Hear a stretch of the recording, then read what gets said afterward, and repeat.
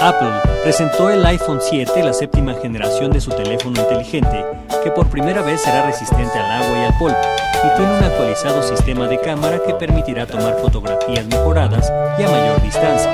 Ejecutivos de Apple presentaron las nuevas versiones del teléfono, el iPhone 7 y el iPhone 7 Plus, y las actualizaciones de otros productos incluyendo el Apple Watch 2.0 ante reporteros especializados en el centro cívico Bill Graham en San Francisco.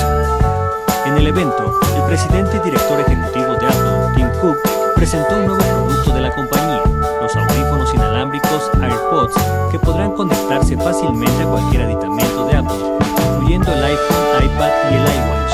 Los AirPods, que comenzarán a ser distribuidos en octubre próximo a un precio de 159 dólares, tienen un diseño muy similar a los audífonos con cable, pero son totalmente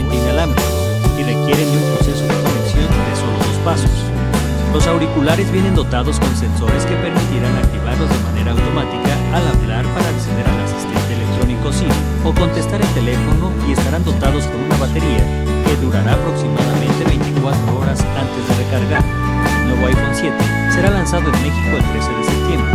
El Apple Watch llegará hasta el 7 de octubre a territorio nacional, mientras que los AirPods no tienen fecha exacta. Notimex.